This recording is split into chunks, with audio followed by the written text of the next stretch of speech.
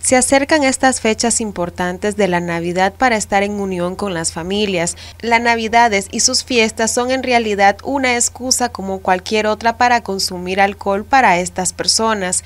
En casi todos los actos navideños podemos encontrar bebidas alcohólicas de por medio. El problema del consumo de tabaco, de licor y de drogas es una pandemia a nivel mundial. En los últimos años se ha incrementado eh, las personas con problemas eh, o adicciones a estupefacientes, a sustancias o a narcóticos.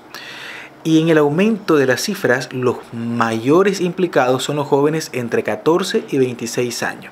Diferentes organismos como la OMS o organismos internacionales dedicados al monitoreo sobre el consumo de estupefacientes, drogas y licor han encontrado precisamente esto. Son jóvenes entre 14 y 28 años los que han incrementado el consumo de, en este orden, licor, tabaco y drogas ilícitas. Estas fechas, noviembre, diciembre, son unas fechas de fiestas, son unas fiestas de mucha salida, de mucha celebración de logros, por así decirlo, como graduaciones, bodas, promociones. Y hay todo tipo también de promociones eh, comerciales en las diferentes eh, discotecas, bares, restaurantes. Y los jóvenes lo aprovechan, aprovechan a salir con sus amigos, aprovechan a salir con sus novias, con su pareja, y ellos tienen en su mentalidad, en su pensamiento, tienen la idea de que no hay diversión sin consumo. Asimismo, este consumo de alcohol generalizado también provoca que hayan muchos accidentes, ya que el alcohol es una de las principales causas de accidente de tránsito que hay durante la Navidad se acentúa todavía más. ¿Qué se recomienda en esta temporada? Vamos a dar dos recomendaciones específicas. Uno es dirigido al joven que está en consumo.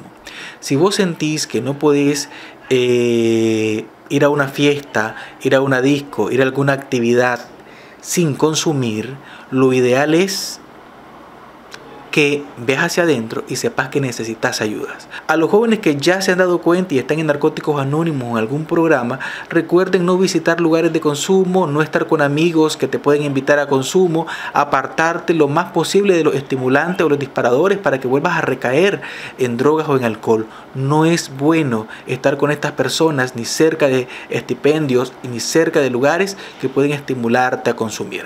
Y a las familiares, los familiares de las personas que están en consumo, si ves que tu joven, tu hijo, tu hija está consumiendo demasiado, por favor trata de no generarle demasiados recursos económicos. No es bueno darle mucho ingreso económico a nuestros jóvenes si están consumiendo demasiado licor, droga o mucha fiesta. Reducí, por favor, la cantidad de dinero que les puede estar facilitando a ellos. Nora González, Noticias 12.